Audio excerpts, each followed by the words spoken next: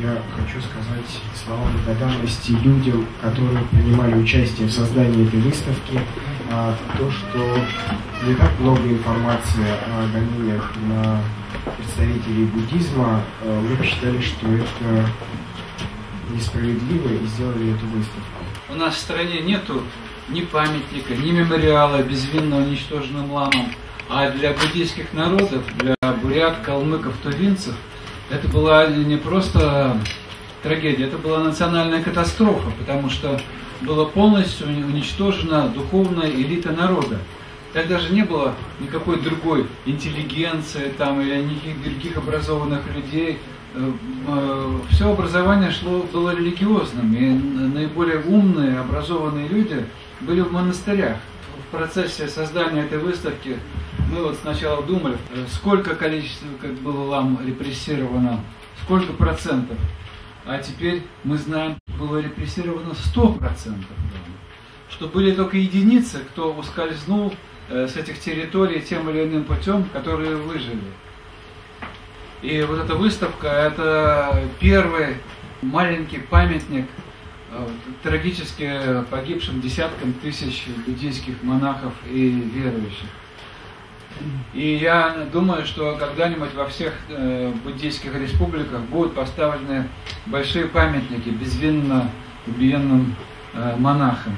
Мне очень хочется пожелать и э, республикам нашим буддийским, и Санкт-Петербургскому Дацану, и всем верующим э, как можно больше сил и вдохновения вот именно в деле возрождения э, традиционной религии, одной из традиционных религий России. People of Tibet, Burete, Kalmiki, Tuva have a long historical uh, uh, contact and spiritual connection.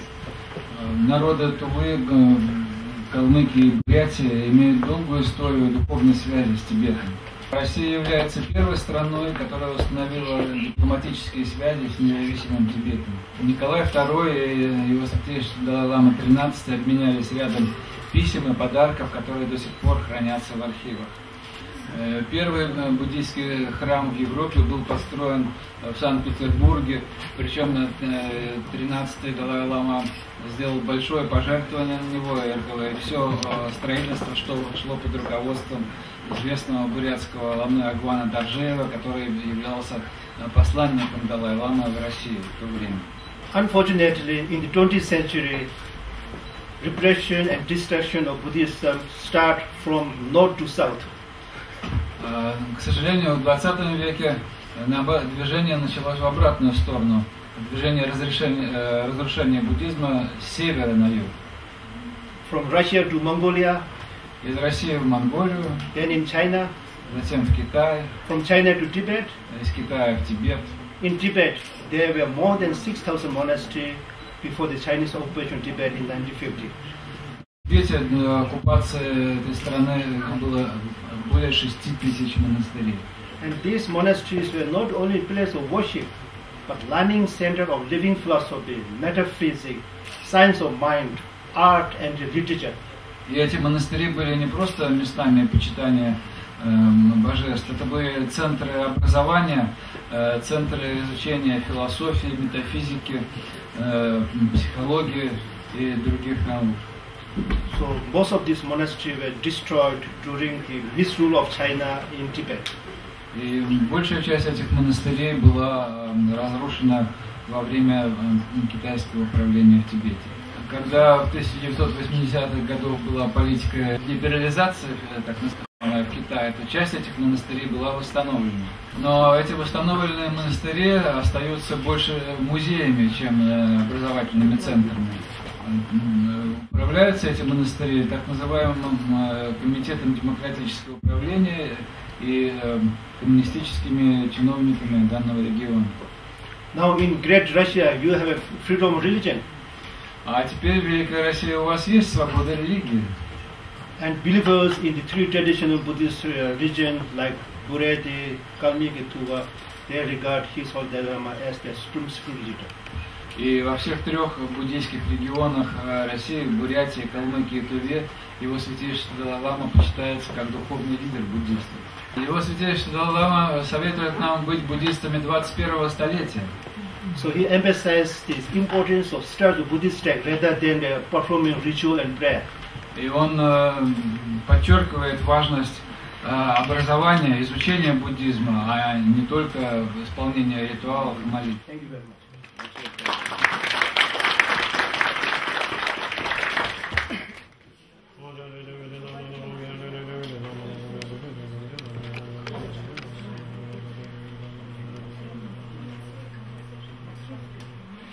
Oh, no,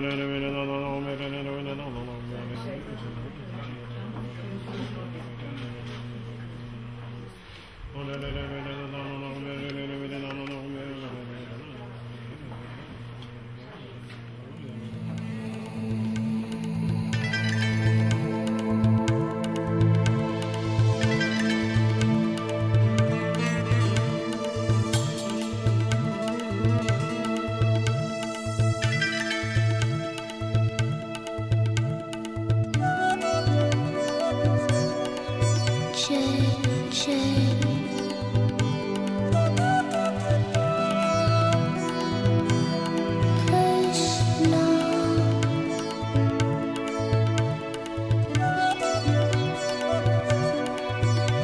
Thank you.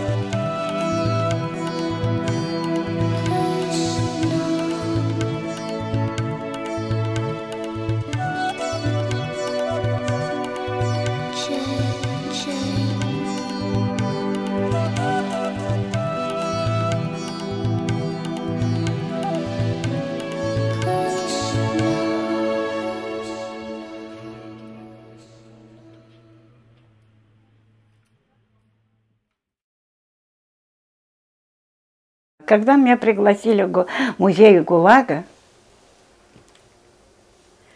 мне такое было впечатление.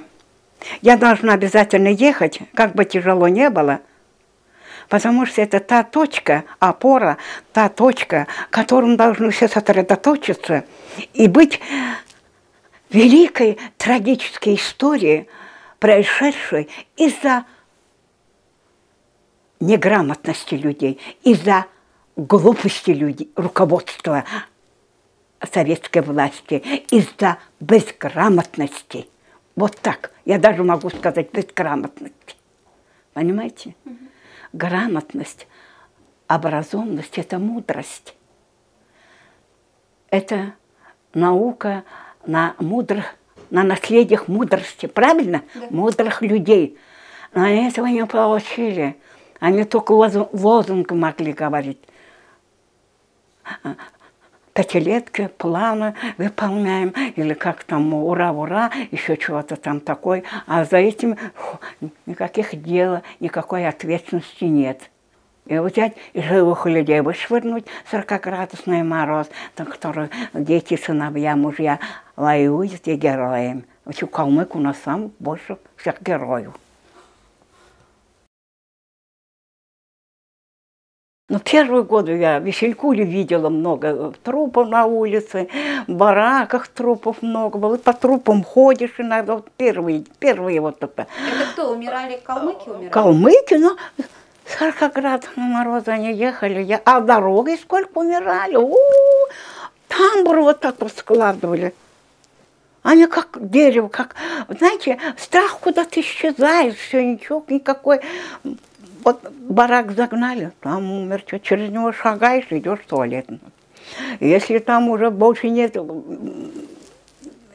где живете, а тут уже вытащи, там на улице видишь, возле двери вдоль стенки, там поставят от двери в сторону. А все равно ходишь, а в них спотыкаешься, они как э, ну, дерево, как замерзшие, замерзшие. Смерть, остывшие трупы. Моя мама всегда говорила, самых лучших людей убрали, убили, искалечили. А сейчас пришли хумус. Ну, она как-то по-своему так, ну, типа дьявола. Пусть меня хоть сейчас стрелять, я скажу. Да вы не стоите мизинца этих людей. Ваши потребности, ваши желания, отражение жизни российских людей.